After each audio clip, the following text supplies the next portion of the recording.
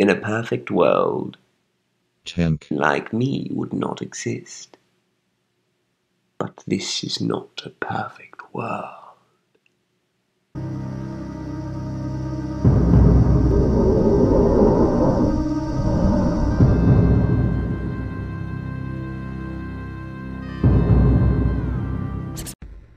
Today we will be taking a look at some of the problems of T-72, primarily the T-72B3 model 2016, since that is the most modern tank's variant.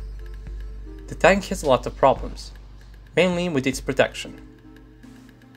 It uses Contact 5 ERA on front placed over T-72B bases. It is needless to say that this type of protection is obsolete in modern era, since there are lots of projectiles made to beat it.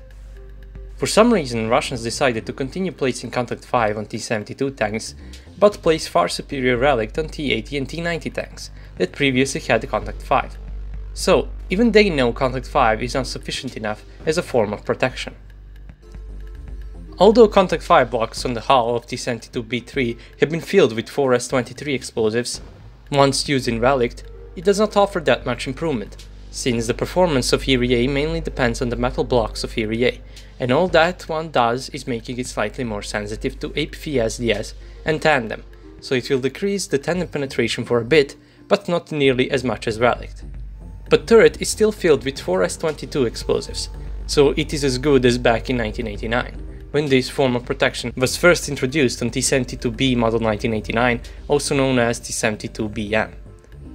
So they basically did not improve the frontal protection of T-72 tanks for 30 years, while basically all other tanks in the world have seen protection changes, including all other Russian tanks.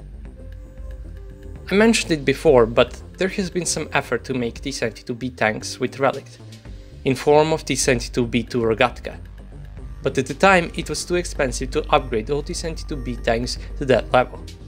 But we don't see why it is a problem now. So that is one of the problems. Side protection is somewhat good. 4S24 blocks have been mounted on the turret side which offer good protection against tandem-shaped charges, and ERA blocks have been placed on the hull that can be further enhanced with 4S24 blocks which offer great protection against modern heat projectiles.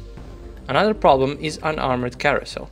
Even though studies have shown that most of catastrophic explosions happen due to ammo in the turret being hit, that is now removed in T-72 tanks there is still a high chance of fragments hitting the ammo, which would make it either catch fire and burn everything inside, or explode leading to a tank being destroyed. T90M and MS have armored carousel, which would mean that only the direct hit would result in ammunition destruction, and being that the carousel is completely on the bottom of the tank, it is very unlikely for a direct hit to happen. Furthermore, the tank's insides are covered with aramid, which is fireproof, and further increases tank survivability compared to T-72B3 that has nothing from the mentioned. So the crew survivability is not that good compared to other tanks. Now we move to fire control system problem. A big downside of T-72B3 is a lack of CITV, which is a great addition for any tank on the battlefield, since it allows commander to independently search for targets and then notify the gunner of their existence. But instead of CITV, Commander gets infrared sight and can only take control of Gunner's thermal, which is better than nothing but still a big downside compared to CITV.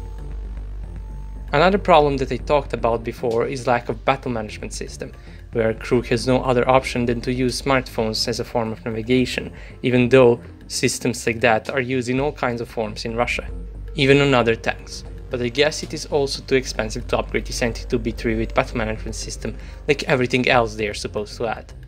So they are just keeping it at its current state because it is cheap and they need a lot of tanks, but making a better variant would mean it is more expensive and thus not possible to make as many as in its current state. I mean, they noticeably improved the mobility with far better engine, new automatic transmission and digitalized systems for driver, which also includes rear camera, but that won't help it that much when on the battlefield. And given that the frontal protection is not that good, basically any better equipped country can go up against it, since majority of tandem heat projectiles can penetrate its frontal armor. Although it has a decent firepower, it can't be used at its best, given the fact that fire control system is not that good either, since it needs to spot the targets first in order to engage them. But Red, what if I wanted to go up against modern tanks? You will die! That would be all. If you like my content and want to support me, you can do it on Patreon. Any amount helps. And if you want, you can join my Discord channel. Both links are in the description. And I will see you all in the next video. Have a nice day.